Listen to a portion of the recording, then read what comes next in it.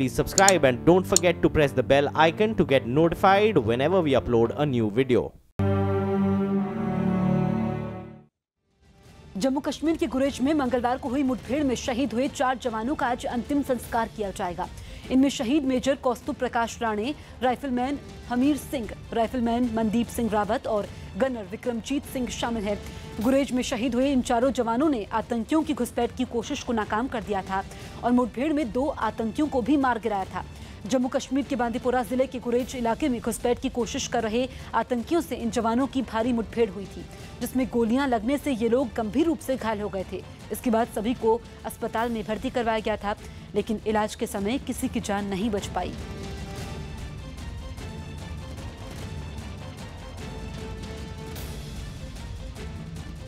गुरेज में आतंकियों से हुई मुठभेड़ में शहीद मेजर राणे का पार्थिव शरीर आज सुबह मुंबई में मलाड आर्मी कैंप से मीरा रोड पर उनके घर पर पहुँचाया गया। जानकारी के मुताबिक सुबह साढ़े दस बजे शहीद मेजर का अंतिम संस्कार किया जाएगा। उससे पहले उनके परिवार वाले और आम लोग शहीद को श्रद्धांजलि दे रहे हैं। पूरा परिवार गमकीन है और इस मुश्किल घड़ी में बड़ी संख्या में लोग उनके घर पहुँच रहे हैं। शहीद मेजर कौस्तुभ प्रकाश राणे उनतीस साल के थे और 2011 में सेना में शामिल हुए थे। महाराष्ट्र के थाने के रहने वाले मेजर राणे के परिवार में पत्नी और एक बेटा है।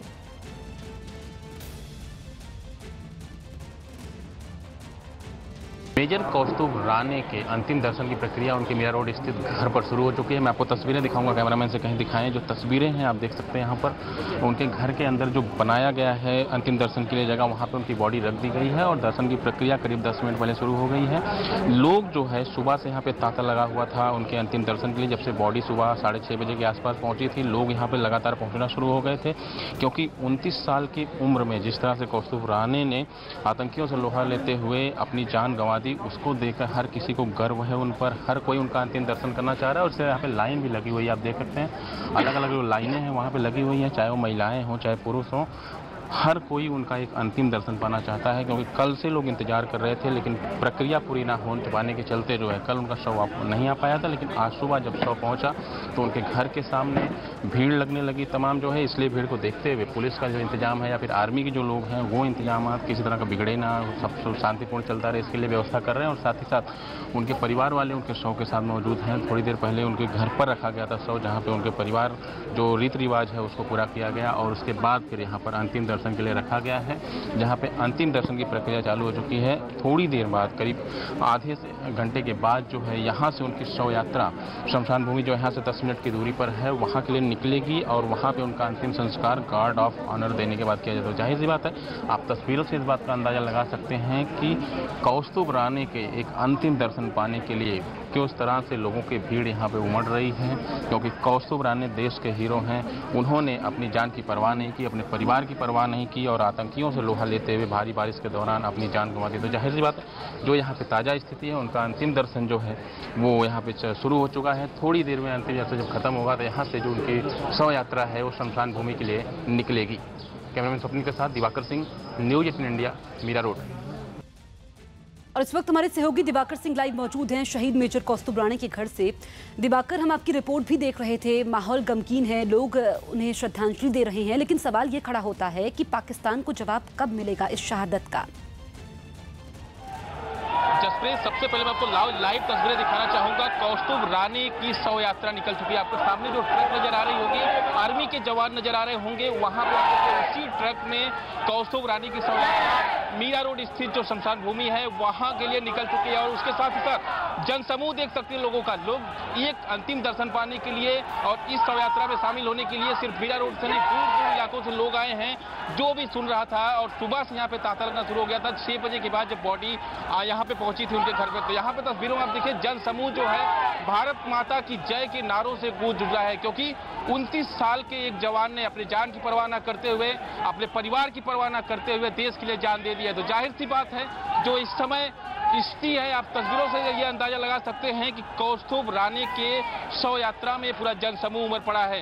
हर कोई कल से इंतज़ार कर रहा था कि उनकी बॉडी कब आएगी, लेकिन आज सुबह जब बॉडी पहुँची उनके घर पर तो इस तरह का तांता लगना शुरू हुआ और अंतिम दर्शन के बाद बॉडी को शमशान भूमि के लिए जो है निकाला गया है। आप तस्वीरों में देखिए, एक बार फिर से मैं कहूँगा, कैमरामैन को तस्वीरें दिखाए, जो ट्रक मूव कर रही है, वो शव यात्रा निकल चुकी है। मीरा रोड जो यहाँ पे शमशान भूमि है स्टेशन के पास में, वहाँ पे ये जाएगी 10 से 15 मिनट का जो वक्त लगेगा इसको पहुँचने में और उसके बाद गॉड ऑफ़ ऑनर देने के बाद मेजर कौस्तुभ राणे को अंतिम विदाई जाएगी दाह संस्कार किया जाएगा। हालाँकि उनके पूरे परिवार में उनकी जो पत्नी है, उनकी बहन है, उनका एक छोटा बेटा है ढाई साल का अगस्त्या राणे, वो पूरा परिवार, रिलेटिव दोस्त सब लोग बहुत ही गमगीन हैं, आँखों में आँसू हैं। देश का वीर जवान आज अपनी अंतिम यात्रा के लिए निकल चुका है। तो ज़ाहिर सी बात जसप्रीत यहाँ पे जो स्थिति है हर कोई उनकी शव यात्रा में शामिल हो रहा है जन समूह बिल्कुल दिवाकर हम तस्वीरें देख सकते सकते हैं। नम आँखों से उनको विदाई दी जा रही है और हम इन तस्वीरों में देख पा रहे हैं कि जो स्कूल की लड़कियाँ हैं वो भी इसमें शामिल हुई हैं अंतिम यात्रा में। कैसे लोग शहीद मेजर कौस्तुब राणे को याद कर रहे हैं? देखिए, दो चीज़ें जसप्रीत। चाहे बच्चे हों, चाहे बुढ़े हों या जवान हो, हर कोई कौस्तुभ राणे को नम आँखों के साथ विदाई दे रहा है। और इसीलिए स्कूल के जो बच्चे हैं, क्योंकि कौस्तुभ राणे इसी इलाके में होली क्रॉस स्कूल है, इसके अलावा रावल स्कूल है, जहाँ पे उन्होंने पढ़ाई की थी। और उस स्कूल के बच्चे यहाँ पे आए हैं, उस स्कूल के टीचर आए हुए हैं, जिन्होंने कौस्तुभ राणे को पढ़ाया था। वो टीचर, वो प्रिंसिपल यहाँ पे मौके पर मौजूद है। हर कोई, कल हमारी जब बात हुई तो हर कोई यही कह रहा था कि कौस्तुभ राणे पढ़ने में बहुत अच्छे थे। सर मिले थे थोड़ा, लेकिन बचपन से ही वो सेना में जाना चाहते थे और इसीलिए उन्होंने जब पूरे पूरे में वो ग्रेजुएशन कर रहे थे उसी दौरान एनडीए की तैयारी कर रहे थे और एनडीए में उनका सिलेक्शन हुआ और फिर वो जो है सेना में भर्ती हुए। 2018 में जनवरी में ही उन्हें मेजर का प्रमोशन मिला था इसके पहले कैप्टन थे। लेकिन जिस तरह से इतनी कम उम्र में बहादुरी का अवार्ड भी उनको मिल चुका है और इतनी कम उम्र में मेजर बन जाना कहीं ना कहीं कौस्तुभ राणे की जाबाजी और उनकी जो वीरता है उसको साबित करता है। और कल जब कुछ एक्स, एक्स आर्मी मैन से हमारी बात हुई तो उनका कहना था कि कौस्तुभ जो है वो हमेशा ड्यूटी से आगे बढ़ के काम करते थे। मतलब अपनी जान की परवाह नहीं करते थे, सिर्फ़ भारत माता की सोचते थे, देश की चिंता करते थे। और शायद यही वजह है कि आतंकियों के साथ जब लोहा लेते हुए उन्होंने अपनी जान की परवाह नहीं की, और इसीलिए उनकी जो आतंकियों की जो गोली लगी, उसके चलते वो देश के लिए शहीद हो गए। लेकिन उनकी जो उनका जो परिवार है, उनका कहना है क्योंकि कौस्तुभ राणे अकेले बेटे थे घर के, और अगर कोई और बेटा होता तो उसको भी आर्मी में तो सी बात है। जज्बा देख सकते हैं, दुख की घड़ी उनके परिवार के लिए ज़रूर है, लेकिन गर्व भी है कि उनके बेटे ने जो है वो देश के लिए अपने प्राण बिल्कुल दिवाकर वो जो है गौरवान्वित महसूस कर रहे हैं कि देश के लिए कुर्बानी दी है उनके जाबाज बेटे ने। आपसे जानना चाहेंगे कि शहीद मेजर की अपनी परिवार से आखिरी बार बातचीत कब हुई थी कब वो अपने परिवार से मिलने आए थे और कौन कौन लोग उनके परिवार में शामिल हैं? जसप्रीत, देखिए, उनके परिवार में उनकी पत्नी है, उनका ढाई साल का एक बेटा है और एक बहन है, उनके माता पिता हैं, प्रकाश कुमार और उनके जो पिता हैं, उनसे कल उनके चाचा से बात हुई थी प्रताप राणे से, उनका कहना था कि उनके जब फ़ोन आता था परिवार के लिए घर जो आते थे छः महीने या साल के बाद, भर के बाद आते थे या फिर जब बात हो पाती थी तो वो सुबह करीब दो दो, तीन बजे भोर में बात हो पाती थी क्योंकि उस समय वो फ्री होते थे और तब घर के लिए बात करते थे। लेकिन अभी जो स्थिति है, परिवार का कोई सदस्य क्योंकि दुख की घड़ी है तो बात करने के लिए बिल्कुल सामने नहीं है, क्योंकि इस दुख की घड़ी में अपने बेटे को बेटे को विदाई दे रहा है और ऐसे में जो स्थिति यहाँ पे है, आँखें नम है उनकी, हालाँकि गर्व भी है, लेकिन दुख की घड़ी उनके लिए ज़्यादा है क्योंकि एक बेटा जो 29 साल की उम्र में देश के लिए अपने प्राण को न्यौछावर करके उसकी अंतिम यात्रा निकल रही है, जसप्रीत। बिल्कुल दिवाकर, हम तस्वीरें देख पा रहे हैं लगातार और बिल्कुल स्थिति को हम समझ सकते हैं कि परिवार वाले बात करने को तैयार नहीं है, उन्होंने अपने बेटे को खोया है। अंतिम यात्रा में बड़ी संख्या में लोग पहुँचे हैं उनके जाबाजी के किस्से आप बता रहे हैं कि लोगों को सुनने को मिलते रहते थे और कम उम्र में उन्होंने काफ़ी कुछ हासिल कर लिया, देश के लिए बलिदान दिया। क्या कोई मंत्री भी वहाँ पर पहुँचा है इस आखिरी यात्रा में? कोई बड़ा नेता इस आखिरी यात्रा में पहुँचा है?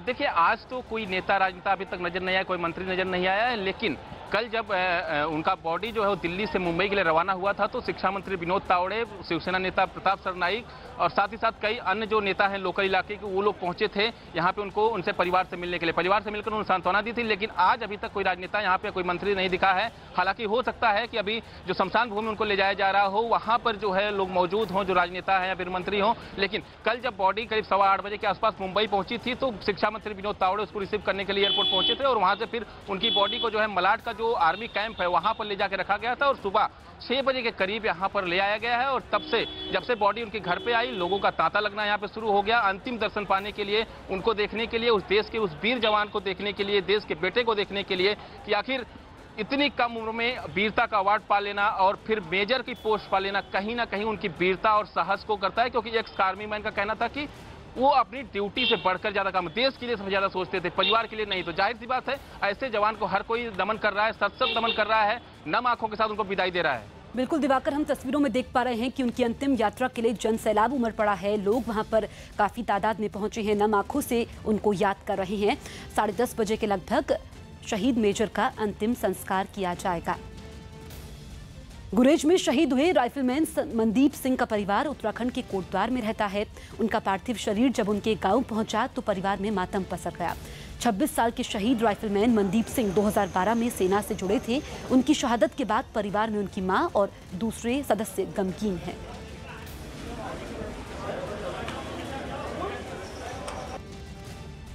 गुरेज में शहीद हुए चार जवानों में हरियाणा के अंबाला के रहने वाले शहीद गनर विक्रमजीत सिंह भी शामिल थे। आज सुबह उनका पार्थिव शरीर भी अंबाला में उनके पैतृक गाँव पहुँच गया। 25 साल के शहीद विक्रमजीत 2014 में सेना में शामिल हुए थे। उनके परिवार में पत्नी है और दूसरे सदस्य हैं।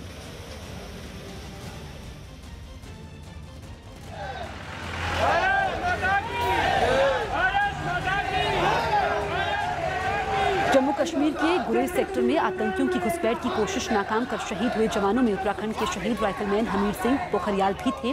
27 साल की उम्र में शहादत को गले लगाने वाले हमीर सिंह का पार्थिव शरीर जब ऋषिकेश पहुँचा तो वहाँ मौजूद लोगों ने शहीद हमीर अमर रहे के नारे लगाए।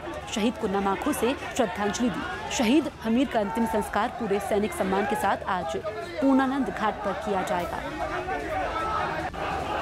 एक बार आर पार की लड़ाई हो, ताकि हम उन्हें सात दिन में उनका पस्त कर सके, उन्हें नाके चने दबा सके। ज़्यादा क्या बोलूँ, लड़का मेरा शेर था, पूरी सेना हमारी शेर है, पर फौज को खुला छूट दे जाए। ये नहीं एल में पाकिस्तान की तरफ़ से फायर होता है, बोलता हम जवाबी जवाबी कार्रवाई दे रहे हैं। नहीं जवाबी कार्रवाई ऐसी नहीं होगा, सीधा अटैक कब तक ऐसा होगा? कम से कम साल में 400 500 तो हमारी भारतीय सेना के जवान शहादत दे चुके हैं, वो देते हैं। ऐसा कभी नहीं होना चाहिए। हमारे सहयोगी दिवाकर लगातार हमारे साथ बने हुए हैं। मुंबई से शहीद मेजर राणे के घर से।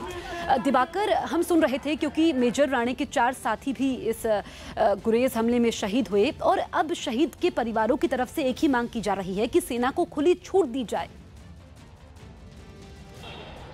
आ, बिल्कुल जिस तरह से लगातार घटनाएँ कश्मीर में घट रही है जवान शहीद हो रहे हैं सवाल ज़रूर खड़ा हो रहा है कि आखिर पाकिस्तान को जवाब कब दिया जाएगा? तब जब जवान लगातार मरते रहेंगे तब जवाब दिया जाएगा या फिर उस पर कहीं ना कहीं अंकुश लगाया जाएगा? नई सरकार पाकिस्तान में ज़रूर आई है लेकिन यही बात कही जा रही है कि हो सकता है प्रधानमंत्री पाकिस्तान जाए लेकिन पाकिस्तान जाने से पहले इन चीज़ों को प्रधानमंत्री को ध्यान देना चाहिए कि लगातार देश के जवान शहीद हो रहे हैं उसका जवाब पाकिस्तान को कब दिया जाएगा। हमारे साथ कुछ लोग भी हैं जो यहाँ पे रहने वाले हैं उनसे भी बात करेंगे कि आखिर जो ये शहादत दी है कौस्तुभ राणे ने उसके बदले में वो क्या मांग करते हैं सरकार से? क्या मांग करते हैं आप यहीं के रहने वाले? सर ये सरकार से हम ये मांग करते हैं कि इनके परिवार को आ, कोई अच्छी पोस्ट पर नौकरी दी जाए क्योंकि इस दुख की घड़ी में इनका एक ढाई साल का बेटा है और कोई इनके साथ में नहीं है। तो मेरी उनसे निवेदन है कि सरकार को और सभी मंत्रियों महाराष्ट्र के मंत्री और दिल्ली सरकार से भी मेरी विनंती है कि जल्दी से जल्दी इनके परिवार को एक कोई अच्छी पोस्ट पर दी जाए ताकि इनका घर गुजारा सके। आज तो पाकिस्तान को जवाब कैसे दिया जाए? आप कैसे देंगे पाकिस्तान का जवाब अभी टिट फॉर टेट जैसे का तैसा दिया जाए क्योंकि कब तक हम सहन करते रहेंगे। पाकिस्तान ऐसा एक आतंकवादी देश बन गया पूरे वर्ल्ड ने माना है कि एक आतंकवादी देश है। उसके बाद भी अगर हम उसके ऊपर कुछ एक्शन नहीं लेते तो ये हमारी कायरता है। इसलिए हम सभी से चाहते हैं कि अभी एक इन्होंने एक चार जवान मारे चार की जगह चार सौ जवान उनको चार सौ आतंकवादी को मारना चाहिए चार सौ टेररिस्ट लोग को मारना चाहिए ताकि ये एक इसको करारा जवाब मिल सके। क्योंकि ये भ्रष्ट पूरा तंत्र है नेता स्वतंत्र है जनता परतंत्र है क्या यही हमारा लोकतंत्र है?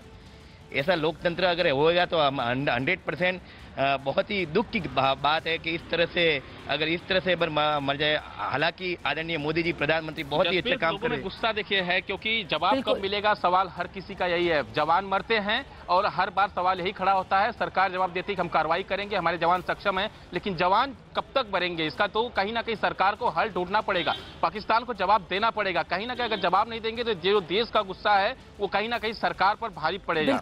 दिवाकर तो हर तरफ़ से यही मांग उठाई जा रही है कि सेना को खुली छूट दी जाए, जवाबी कार्रवाई से काम नहीं चलेगा। वहाँ पर जो है आतंकवादियों को मारना होगा ताकि इस तरह की तस्वीरें हमें दोबारा देखने को ना मिले। दिवाकर बहुत बहुत शुक्रिया आपका।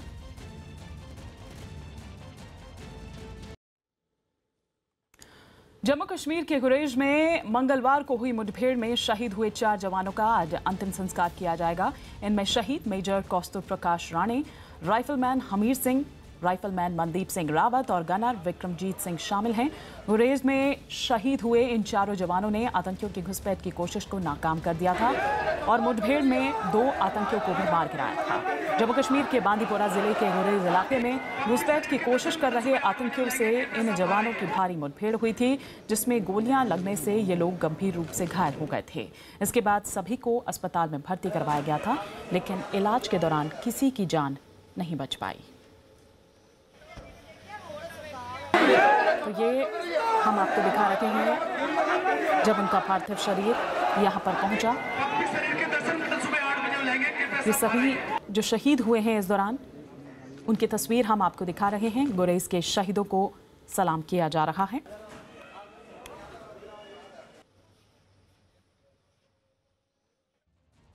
गुरेज में आतंकियों से हुई मुठभेड़ में शहीद मेजर राणे का पार्थिव शरीर आज सुबह मुंबई में मलाड आर्मी कैंप से थाने में मीरा रोड पर उनके घर पहुँचाया गया। जानकारी के मुताबिक सुबह साढ़े दस बजे शहीद मेजर का अंतिम संस्कार किया जाएगा। उससे पहले उनके परिवार वाले और आम लोग शहीद को श्रद्धांजलि दे रहे हैं। पूरा परिवार गमगीन है और इस मुश्किल घड़ी में बड़ी संख्या में लोग उनके घर पहुँच रहे हैं। शहीद मेजर कौस्तुभ प्रकाश राणे उनतीस साल के थे और 2011 में सेना में शामिल हुए थे। महाराष्ट्र के थाने के रहने वाले मेजर राणे के परिवार में पत्नी और एक बेटा है।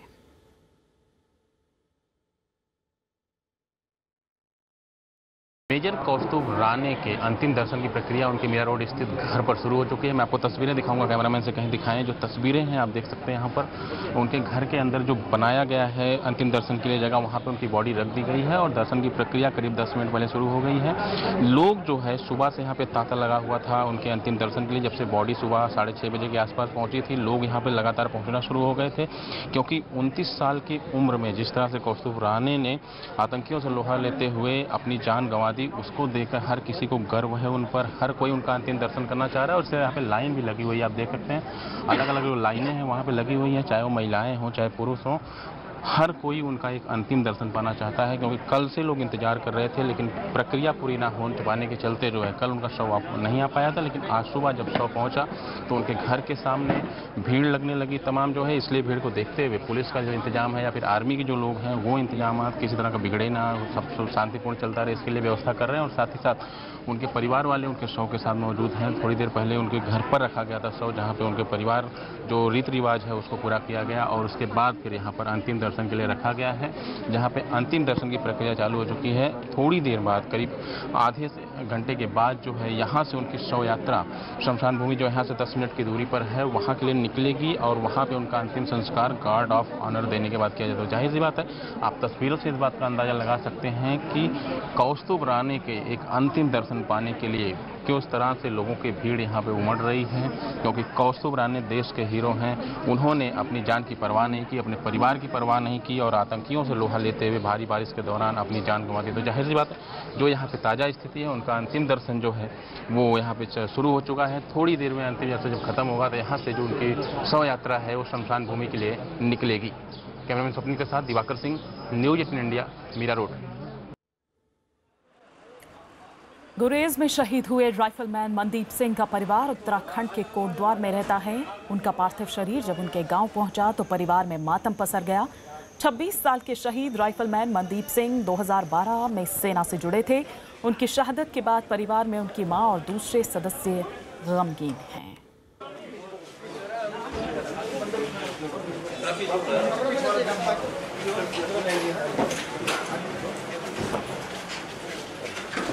वहीं गुरेज में शहीद हुए चार जवानों में हरियाणा के अंबाला में रहने वाले शहीद गनर विक्रमजीत सिंह भी शामिल थे। आज सुबह उनका पार्थिव शरीर भी अंबाला में उनके पैतृक गाँव पहुँच गया।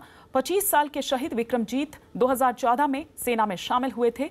उनके परिवार में पत्नी हैं और दूसरे सदस्य हैं।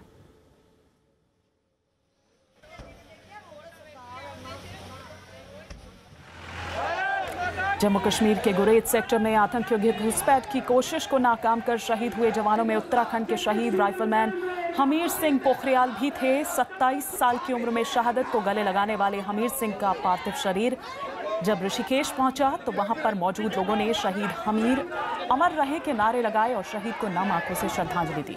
शहीद हमीर का अंतिम संस्कार पूरे सैन्य सम्मान के साथ आज पूर्णानंद घाट पर किया जाएगा। एक बार आर पार की लड़ाई हो, ताकि हम उन्हें सात दिन में उनका पस्त कर सके, उन्हें नाके चने दबा सके। ज़्यादा क्या बोलूँ? लड़का मेरा शेर था, पूरी सेना हमारी शेर है, पर फौज को खुला छूट दिया जाए। ये नहीं कि एल में पाकिस्तान की तरफ़ से फैर होता है, बोलता हम जवाबी जवाबी कार्रवाई दे रहे हैं। नहीं कार- कार्रवाई से नहीं होगा, सीधा अटैक कब तक ऐसा होगा? कम से कम साल में 400-500 तो हमारी भारतीय सेना के जवान सादा दे चुके हैं और देते हैं। ऐसा कभी नहीं होना चाहिए।